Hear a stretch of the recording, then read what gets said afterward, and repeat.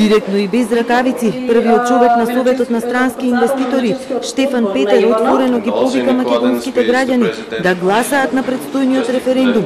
Ако тој пропадне, вели, и се пропушти шансата за влез во ЕУ, земјата ќе го изгуби кредибилитетот, а со тоа и довербата и вербата во иднината.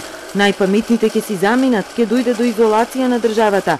Дури една милиарда евра финансиска помош од ЕУ за различни проекти нема да влезат во Македонија.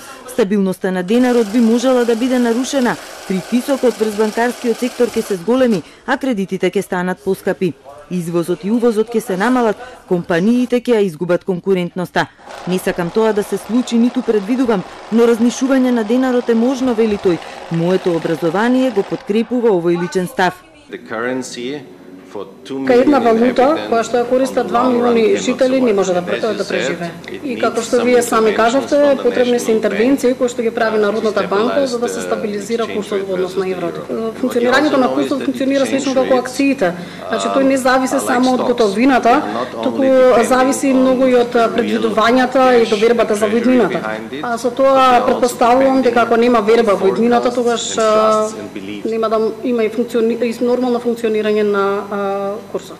Нема да биде катастрофа по 30 септември ако референдумот не успее, животот продолжува, но не сум сигурен дали Македонија би можела да живее во поповолни услови, доколку не е дел од Европа.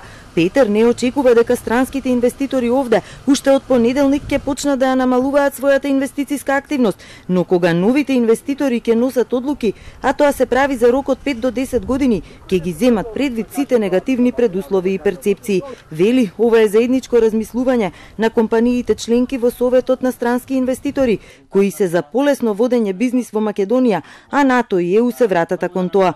Секој може да донесе одлука понедело, но не е важно само како ќе гласате. Прво, важно е да излезете на гласање, активно да учествувате во демократијата. А потоа, немојте да бидете себични и да размислувате само за себе, туку размислете и за последиците од вашиот глас за еднината. За демократијата да функционира, мораме да бидеме нација која учествува, а не само да наблюдуваме. Оној кој не гласа, губи правото да се жали. Кои се неговите прогнози за референдумот, Петер вели дека треба да бидеме свесни, внимателни и уплашени за прогнозите. И ништо не е сигурно се до недела навечер, но на македонските граѓани им упати апел.